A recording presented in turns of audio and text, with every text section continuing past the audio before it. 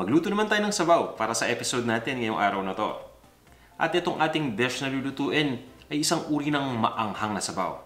Well, actually, understatement yung maanghang. Isa itong uri ng napakaanghang na sabaw na masarap din at malasa. At nagmula pa to sa Mindanao. Ang tawag dito sa dish nating lulutuin ay beef hinalang.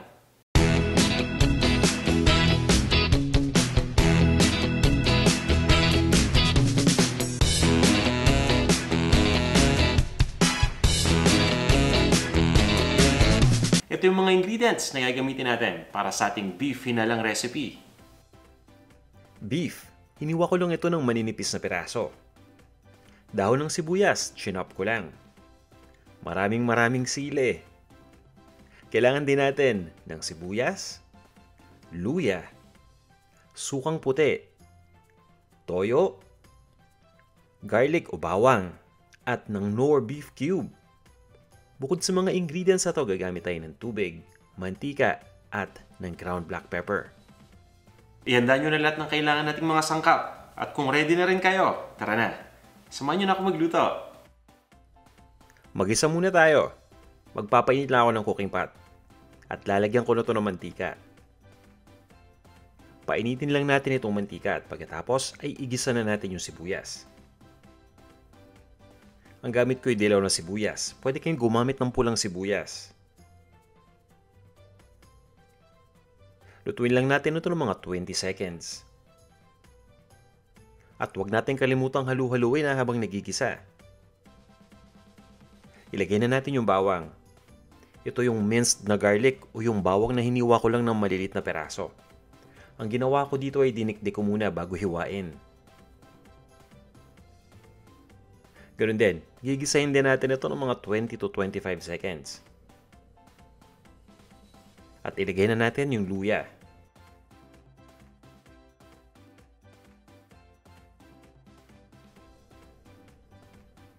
Itong luya naman ay hiniwa ko lang na maninipis. At ng maliliit, kumbaga ito yung tinatawag natin na matchstick pieces. Itutuloy ko lang ang pag-isa hanggang sa tuloy ng lumambot yung sibuyas.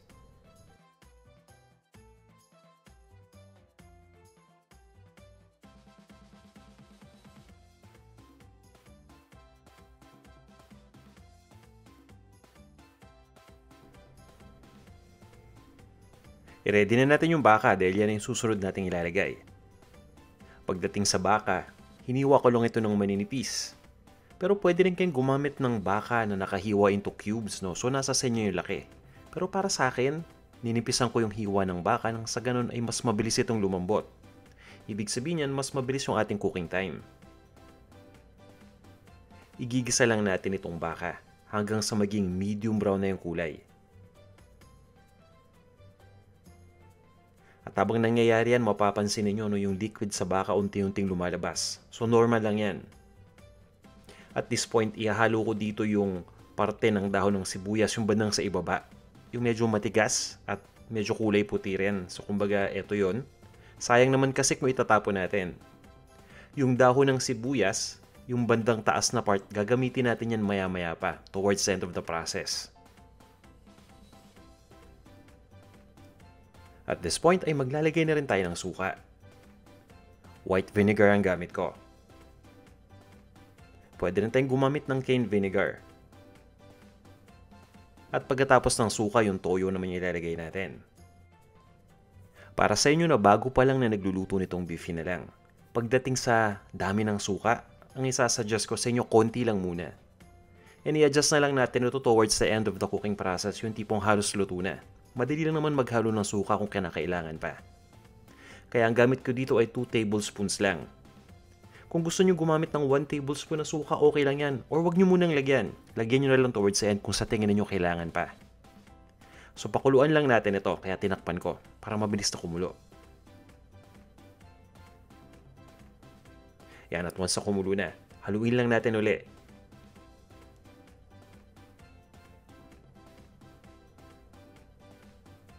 At dapat dito sa ating dish ay malasang malasa. Yung tipong talagang lasang lasa mo yung baka.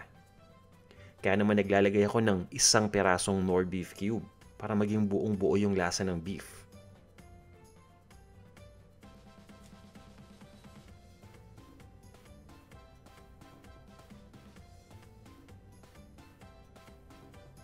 Idiretso na natin dito sa ating cooking pot.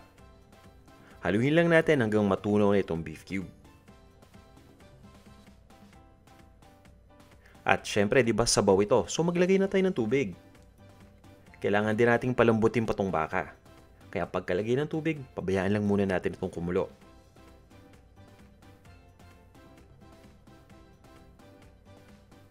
Dito papasok yung benefit ng paghiwa ng maninipis. Dahil instead na pakuluan natin ito ng napakatagal, kumbaga tamang-tamang duration lang yung kailangan natin. Instead na pakuluan natin yung baka ng mahigit isang oras, siguro mga 25 to 30 minutes lang okay na. Pero syempre, i-check pa rin natin yan.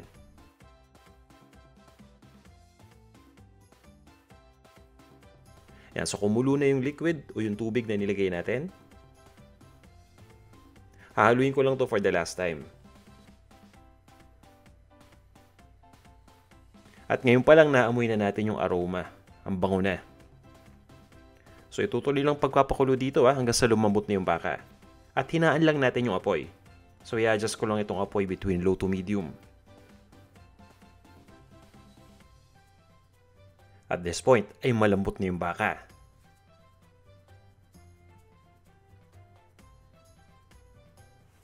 So eto, ready ready na yan. Pero kailangan pa nating kumpletuhin itong ating dish. Hindi to magiging hinalang kung walang maanghang na ingredient. Kaya ihanda na natin yung sili. At yan ang susunod nating ilalagay. Ang gamit ko ay Thai chili na chinap ko lang. Pwede kayong gumamit ng siling labuyo para mas maanghang. Pero pagdating sa sili ah, alam nyo naman kanina nakita ninyo kung gaano karami yung sili. Kalahati lang muna ilagay natin. Dahil nga lalong-lalo na no, kung marami yung kakain, baka naman kasi hindi lahat kayang matolerate yung maanghang. So kumbaga, kalahati lang muna para hindi masyadong maanghang. Kung gusto niyo mas maanghang, idagdag nyo na lang yung extra na sili dun sa inyong bowl. Pwede na rin nating ilagay itong ating green onions o yung dahon ng sibuyas. At pagdating sa dahon ng sibuyas, ilalagay ko lang siguro mga kalahati pa rin. Yung kalahati itatabi ko para iga-garnish na lang natin dun sa bowl kapag kakainin na natin. Haluin lang muna natin. At alam nyo ba, halos patapos na tayo. Isang ingredient na lang ilalagay ko. At ito yung ground black pepper. Titimplahan na natin itong ating dish. Nasa sa inyo kung gaano karaming ground black pepper ang ilalagay. Para naman dun sa mga maalatang panlasa, kung sa tingin ninyong kulang pa ito ng alat, pwede tayo magdagdag ng konting asin pa.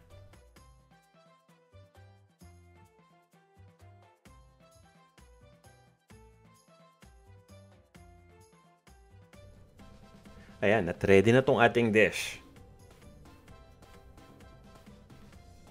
Pwede na natin itong ilipat sa isang serving bowl. At iserve na natin.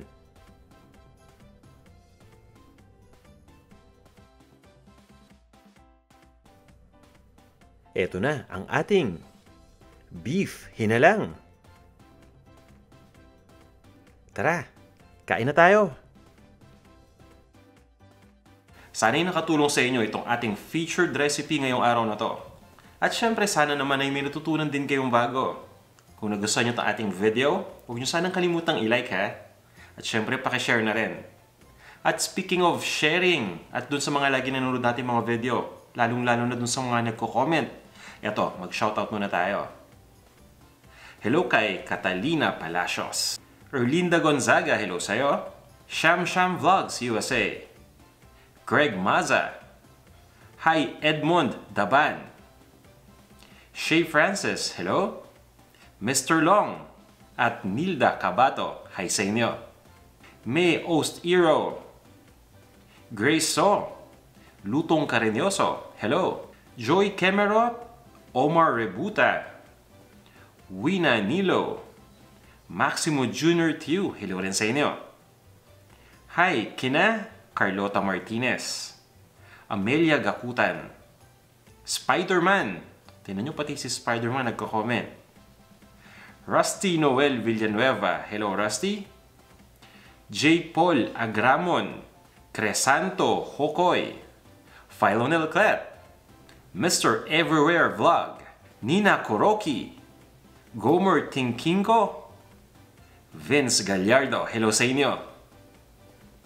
Hi rin kay Jasper Valencia, Irk Goat, 3Ace TV Channel, Claudiel Tan, Judith Velez, Elpidia Opano, Bryce Hale or Bryce Hale, Rosalinda Gabarda, at kay Lizelle Shera. Maraming salamat sa inyong lahat sa walang sawa ninyong panonood ng ating mga video at sa pag-comment. At dun sa mga lagi nag-share ng videos natin, salamat ng marami sa inyo.